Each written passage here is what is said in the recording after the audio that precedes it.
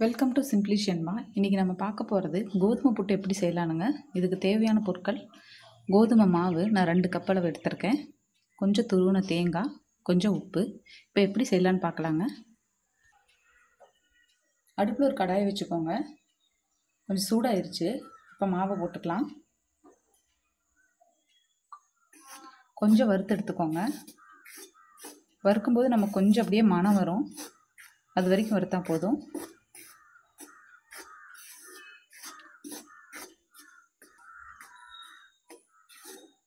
பாருங்கள் இது நல்லா வறுத்தாச்சு மனம் வந்துருச்சு. இனி ஆஃப் பண்ணிக்கலாம். இது கொஞ்சம் சூடு ஆறட்டும். பாருங்கள் இப்போ சூடு ஆறிடுச்சு லைட்டாக நம்ம இப்போ தொடர அளவு தான் இருக்குது இப்போ கொஞ்சம் உப்பு ஆட் பண்ணிக்கலாம்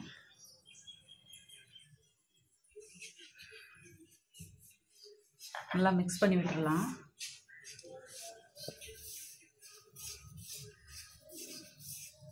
இப்போது தண்ணிங்க.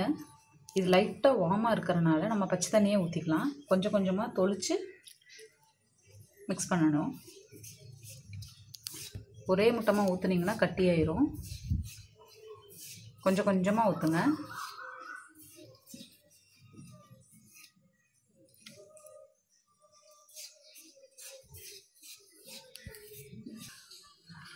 பாருங்கள் இப்போ நல்லா தண்ணி விட்டு எல்லா இடத்துலையுமே மிக்ஸ் ஆயிடுச்சு ரொம்ப கட்டியாகவும் இருக்கக்கூடாது இப்படி உதிரி உதிரியாக வரணும். இப்போ நம்ம எப்படி செய்யலான்னு பார்க்கலாங்க. இப்போ பாருங்கள் புட்டு எப்படி செய்யலான்னு. புட்டு பாத்திரத்தில் கொஞ்சம் தண்ணி ஊற்றி வச்சுருக்கேன். சூடாயிட்ருக்கு இப்போ இதில் நம்ம ஃபில் பண்ணிக்கலாம். தேங்காய் கொஞ்சம் போட்டுக்கலாம்.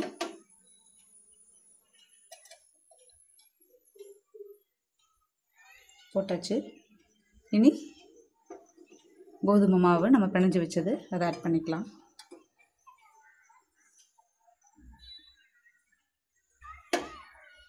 திரும்பவும் தேங்காய் கொஞ்சம் போட்டுக்கலாம்.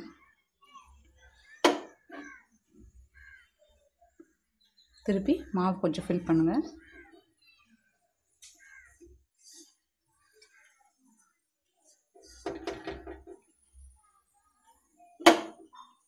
அவ்வளோதான் இனி மேலே தேங்காய் போட்டு க்ளோஸ் பண்ணிடலாம்.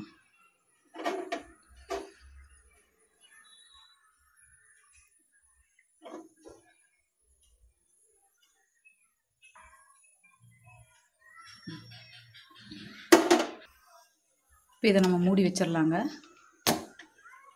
இது வெந்ததுன்னா இதில் மேலே ஆவி வருங்க நமக்கு தெரியும். இப்போ வாங்க நம்ம புட்டு ஆயிருக்கும் பார்க்கலாம். ஆயிடுச்சு.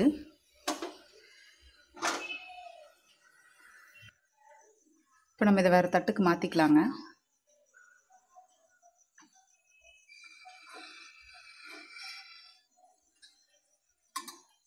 பாருங்கள் அப்படியே வந்திருக்கு. தேங்காய் அதிகம் சாப்பிட்றவங்களா இருந்தால் தேங்காய் எண்ணெய் கொஞ்சம் ஆட் பண்ணிக்கோங்க. நான் நார்மலாக ஆட் பண்ணியிருக்கேன். பாருங்கள் அவ்வளோதான் கோதுமை புட்டு ரெடி இது எல்லாத்துக்கூடயும் காம்பினேஷன் நல்லா இருக்குங்க. சட்னி சாம்பார் எல்லாத்துக்கூடையும் நல்லாயிருக்கும் மட்டன் குழம்புனாலும் நல்லா இருக்குங்க. சிம்ப்ளி ஷென்பா சேனலை சப்ஸ்கிரைப் பண்ணாதவங்க சப்ஸ்கிரைப் பண்ணுங்கள் கூடவே பெல் பட்டனை ப்ரெஸ் பண்ணுங்கள் தேங்க்யூ